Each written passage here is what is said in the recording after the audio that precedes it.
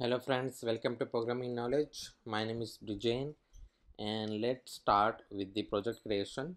So first of all open terminal or command prompt if you are on a Windows machine. To initiate a new Expo Manage project just type Expo init and then project name let's say shopping app IT and press enter and create a blank project. So I already done that so open your project on any visual studio code or any text editor of your choice. And also open the simulator. Here i have ios simulator because i'm using a mac machine. But if you are on windows machine you can also uh, open the android emulator. So the first file that will uh, render onto the screen when we start the app uh, will be app.js file so open terminal. And to start the project just type npm start.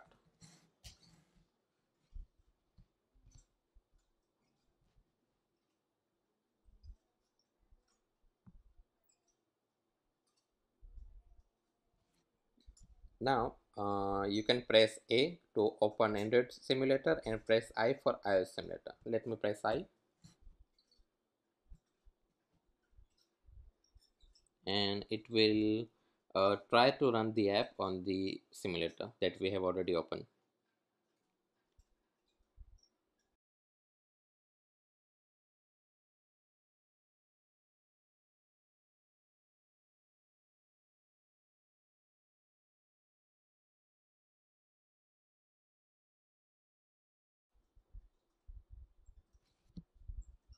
Okay, so our app is running let me change this text to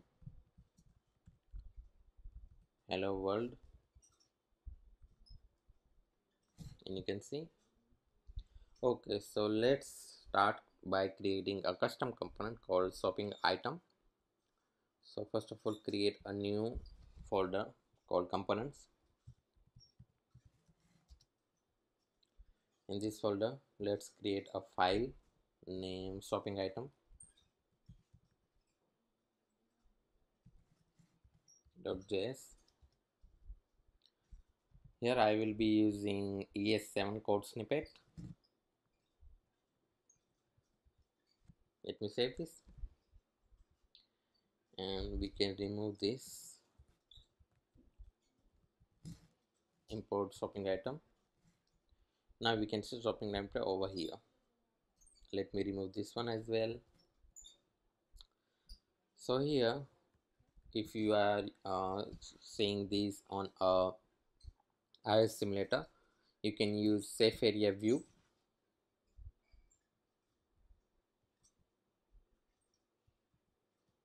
Let me just say this. Now it's fine. Okay on shopping item First of all, shopping item will consist of uh, three components. The first one will be the checked icon. Then we will have a text, shopping text. And then we have a delete button. Okay, so for the checked icon, just open your browser and search for expo vector icons.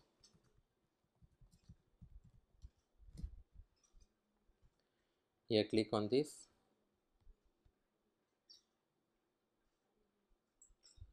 You can search for any icon. We want a checked icon. So let me use this one. First of all you need to import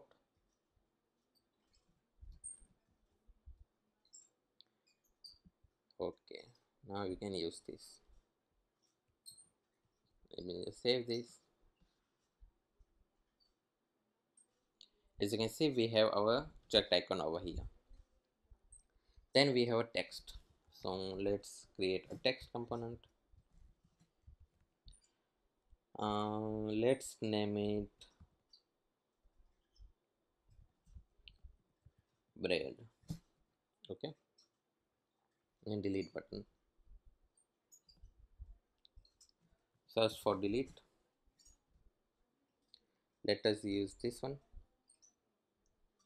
We also need to import material icons for that. Copy this one. Save this.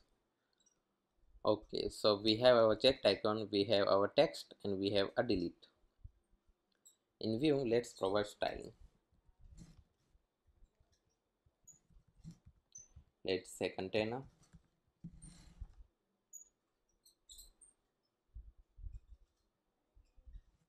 Here we put this in a pressable because we want to do something when user touch it.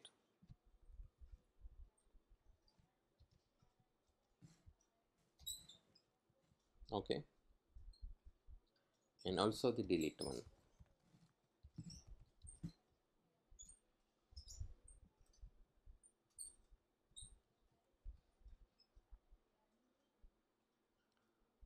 okay so text.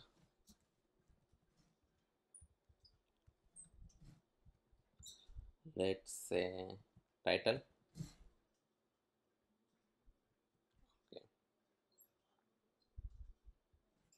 First of all container. Then title. Now we want this to be in the same row so for that let's say flex direction row. Okay. And let's do background color to see how much space uh, it occupies. Let's say red okay. Now we want uh, all of three to be end of the screen. The delete button we want right of the screen the check box uh, left of the screen and the braid will occupy the rest of the space so for that title we can do flex 1 okay.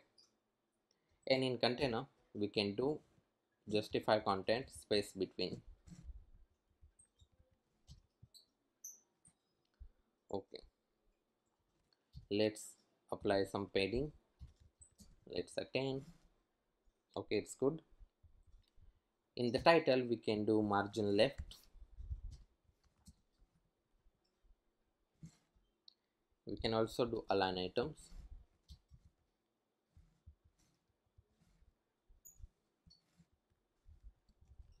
Center. Okay. So let's also provide width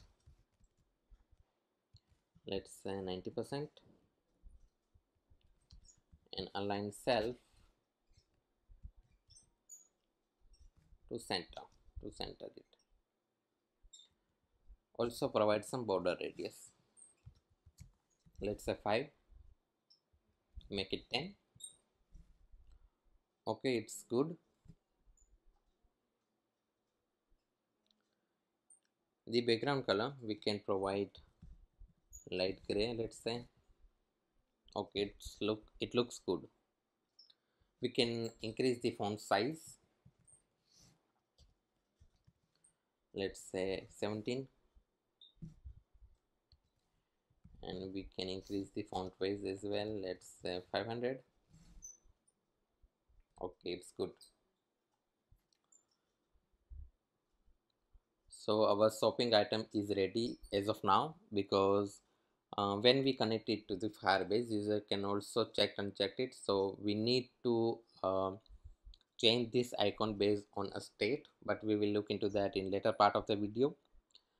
So for now it's good so if we go back to our app.js and let's just copy this and paste it multiple multiple times just to see how it will look when we have multiple items in our list. Okay so we can see one problem over here. We also need to provide some margin vertical. Let's set 10 okay it's good so if we again copy this paste in so this is how our list will look uh, when we uh, use flat list component to render the multiple items present in our Firestore database. So that's it for this video. This is how you can create a custom component and use it in app.js. You can create a separate file for that and you can do all the styling and designing in this component. And you just need to import this component over app in app.js file and use it as if it is built-in component. So in our next video we will try to do the heading part. We will try to render the heading number of items date etc so thanks for watching this